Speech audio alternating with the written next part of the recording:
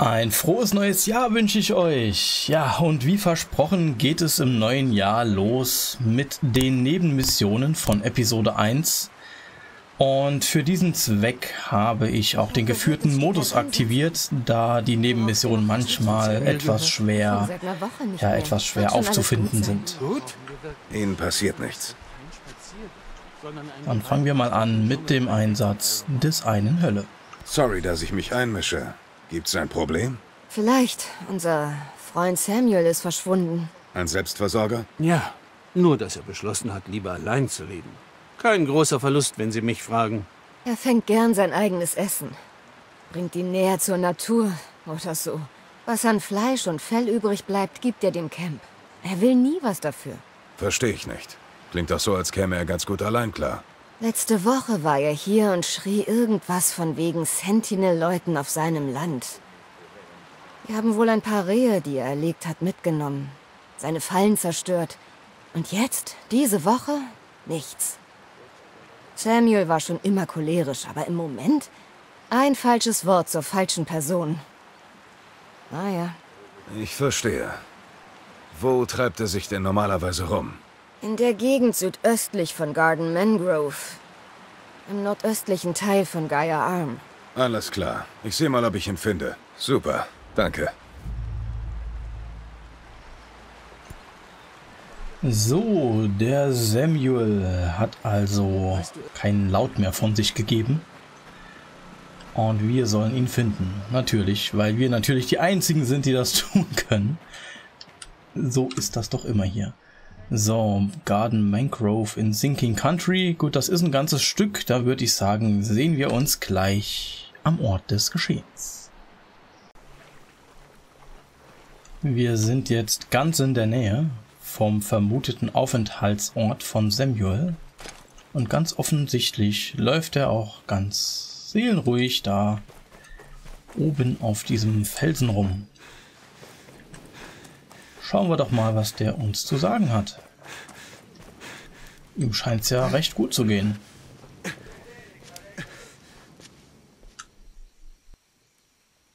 Wer sind Sie?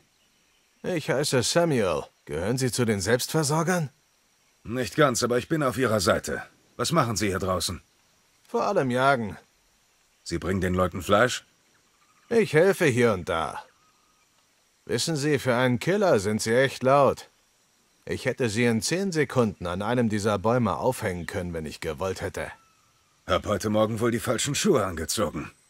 Hab gehört, Sie hätten ein Sentinel-Problem. Richtig gehört. Ich muss diese Fallen aufstellen, aber wenn wir einen Alarm von denen auslösen, nun, dann sind wir tot. Und davon erholt sich keiner. Wenn Sie die still und leise ausschalten könnten, kann ich meine Fallen auslegen. Treffen wir uns dann oben in meiner Hütte, wenn wir fertig sind? Sie ist in Sinking Country, südlich von Mossy Pond, westlich von Howard Port, okay? Ja, geht klar.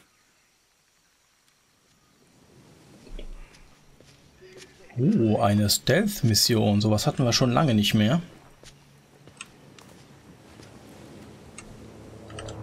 Oh nein, Heli.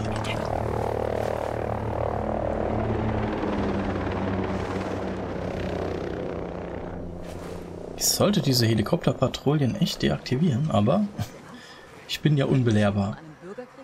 So, wo sollen wir die auslegen? Ah ne, hier soll nichts auslegen, wir sollen nur die Sentinels töten. Man-Eater Slow. Hier nördlich von uns, alles klar. Was meinst du? Komisch, dass... Ach, da wird's markiert. Wollte gerade schon sagen, komisch, dass es nicht markiert wird. Ich habe ja den geführten Modus aktiviert. So, irgendwo dort müsste noch unser Boot stehen, mit dem wir ganz leise angekommen sind. Aber da ich einen Orientierungssinn wie ein Goldfisch habe... Ah, nee, doch, da ist es. Gut. Alles gut. Vergesst, was ich gesagt habe.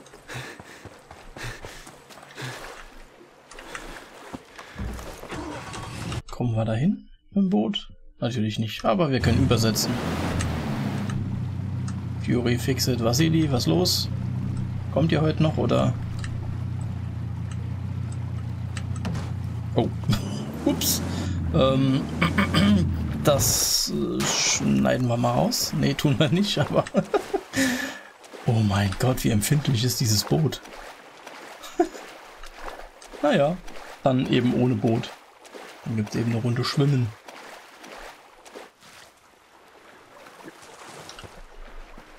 Und wir müssen natürlich aufpassen, dass wir nicht entdeckt werden. Wir haben ja die Echelon-Klasse. Deshalb zücke ich jetzt lieber mal die Pistole, denn dann hören wir zumindest, wenn wir kurz davor sind, entdeckt zu werden.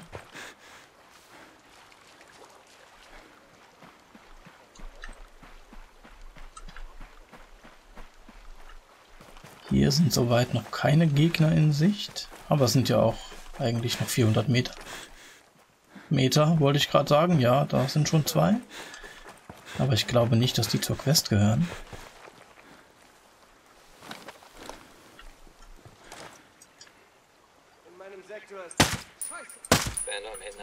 Ja, absolut phänomenal.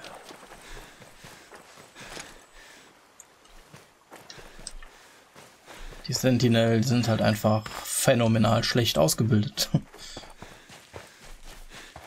Das ist eigentlich alles. Was haben wir denn? Irgendetwas etwas Nützliches. Ja, vielleicht eine Blendgranate. Die könnte von Nutzen sein.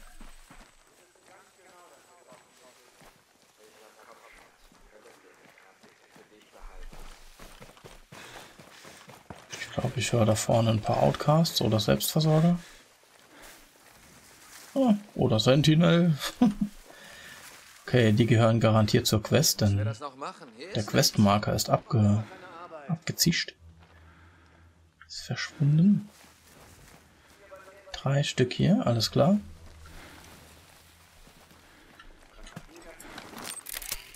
Schauen wir mal, wo die sich rumtreiben. Einer hier. Ach, guck mal, ich kann die markieren.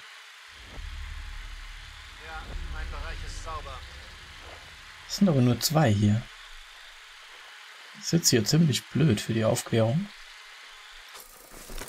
Kann hier einfach flankiert werden. Ich will jetzt aber keinen von denen ausschalten, bevor ich nicht den dritten auch gefunden habe.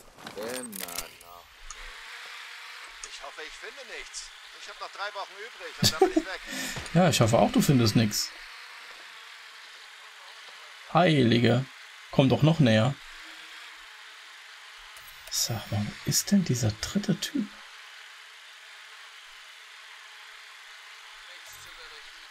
Da habe ich was gehört.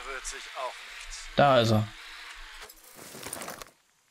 Oder war das der andere? Ach, meine Güte. Diese Seeluft ist Gift für meine Ausrüstung. Ich muss ständig alles sauber machen. Möglicherweise ist allen egal, was wir hier unten denken. Nummer 1. Wie lange müssen wir da? Nummer 2. Ah, es geht gar nicht um die, um die Soldaten mit den dreien. Es geht um drei Trupps, nicht um drei Soldaten. Alles klar. Also gibt es gar keinen dritten hier. Ich höre wieder Stimmen. Auf 12 Uhr. Wir müssen alles nach Infos absuchen. Müssen wir das? So, schauen wir mal. Scheinen wieder nur zwei zu sein. Alles klar. 2-1 Risiko.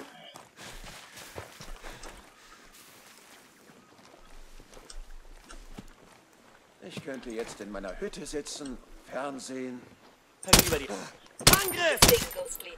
Das war knapp.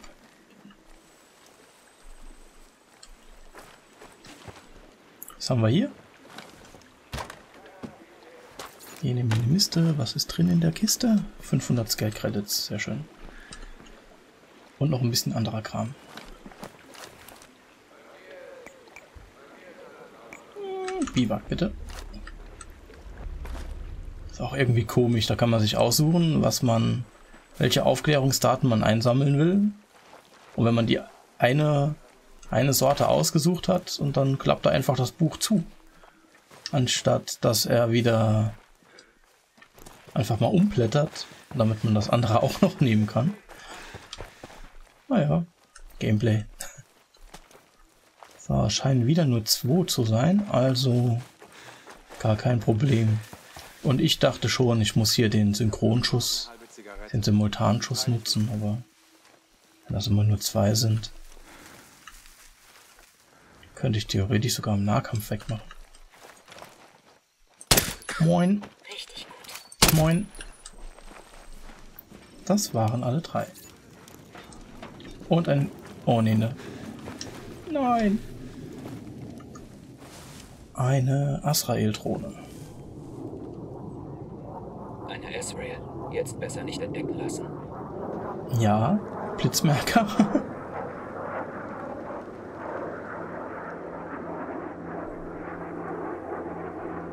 Ich habe gesehen, es gibt neuerdings in Ubisoft Connect gibt es auch eine Statistik für getötete Wolves, wenn man gejagt wird, also wenn man von der Israel entdeckt Alles wurde. gut. Die Asrael ist weit genug weg. So, gut, Israel ist weit genug weg.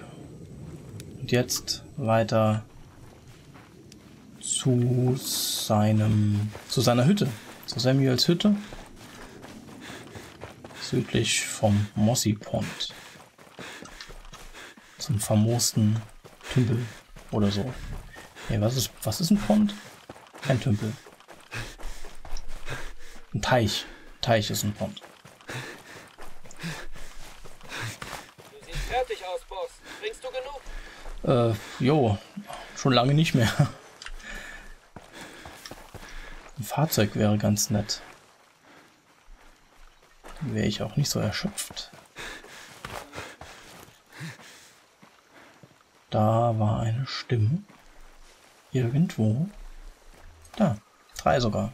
Meine vierte Tour war die schlimmste. Oben im afghanischen Bergland. Die griffen uns jeden Tag an. Nimm du den linken. Huch. Ich habe aus Versehen geklickt. Entschuldigung. Ich habe ihn aus Versehen erschossen. Tja, wozu Voice Commands, wenn man auch selbst schießen kann?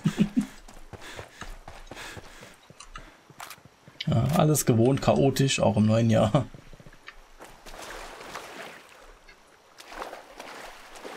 Noch 340 Meter. Aber optisch ist das Spiel einfach, einfach schön. Vor allem mit meiner neuen Grafikkarte. Ich die Grafik wieder schön hochstellen konnte.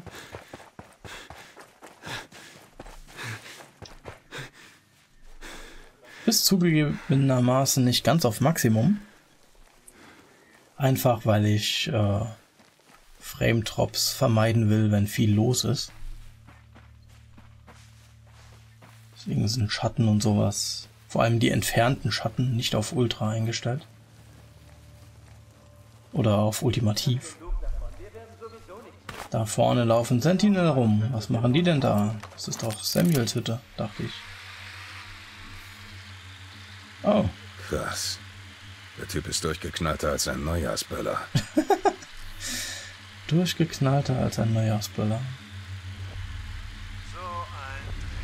Da ist auch einer, alles klar. Wir müssen Samuel beschützen. Okay.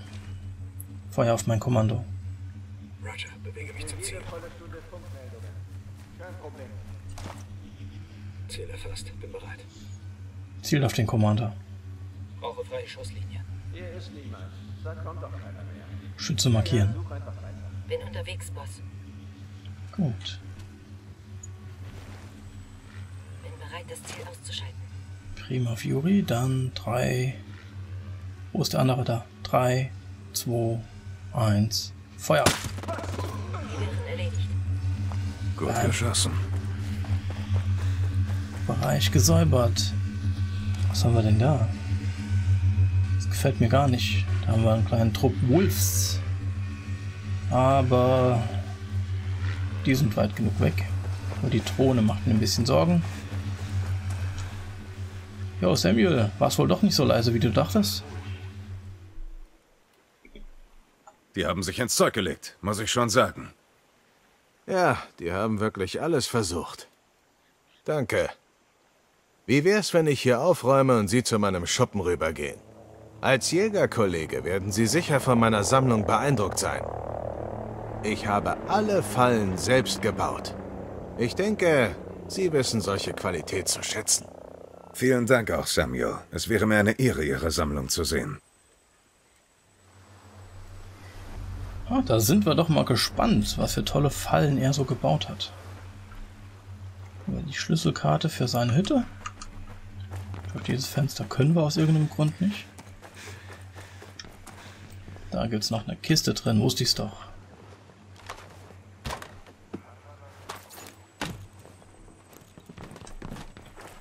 So, seine Hütte, seine Hütte ist da drüben. Ist im Südwesten.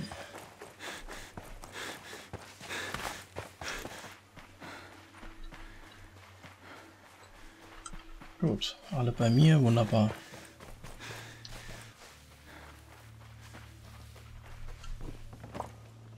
So, schau.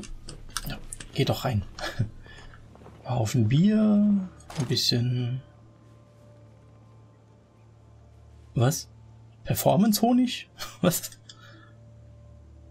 Oh. Samen. Okay. Na gut, die Fallen sind da unten, alles klar. Schauen wir doch mal.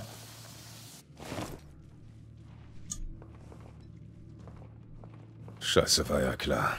Du musstest oh. einfach ein Verrückter sein, was? Verdammt dunkel hier unten. Nun, also der, ja, er ist echt ein Verrückter. Ganz offensichtlich.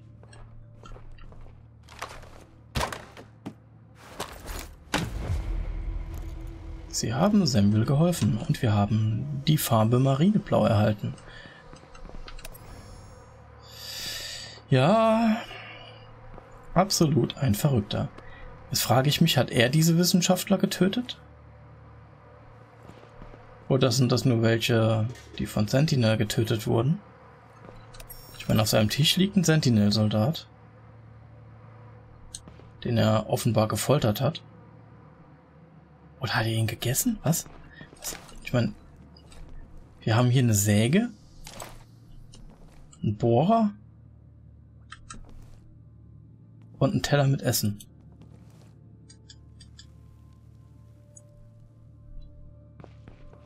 Hier allerhand anderes Werkzeug.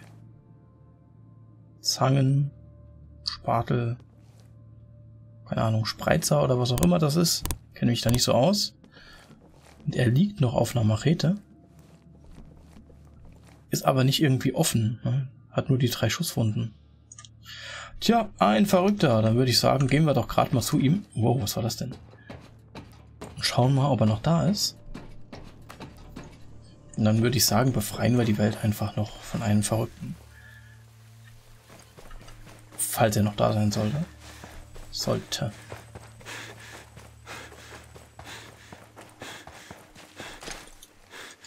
Wenn er schon weg ist, tja, dann ist es halt so. Und ja, er ist weg. Gut. Noch eine Zange. Ja, das ist doch... Das ist keine Zange. Doch, also irgendwie eine sehr Low-Rest-Zange. Gut, das war die erste Nebenmission des einen Hölle. Dann geht's in der nächsten Folge, nächste Woche Mittwoch, wieder gewohnt weiter mit der nächsten Mission. Ich freue mich auf euch. Wir sehen uns.